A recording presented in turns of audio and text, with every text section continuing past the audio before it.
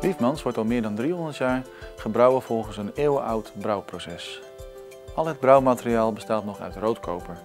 De familie Liefmans was een kei in het brouwen van bieren, welke ze laten rijpen, mengen en vervolgens weer laten rijpen. De kleur is dieprood tot bruin en heeft een licht roze schuimkraag. De geur laat flink wat kers zien, maar we vinden ook wat hout en amandel. In de smaken herkennen we de fruitigheid van kers en een verrassende zuurzoete mondgevoel. Deze cuvée kriek serveer ik graag naast gerechten van varkensvlees. Proost!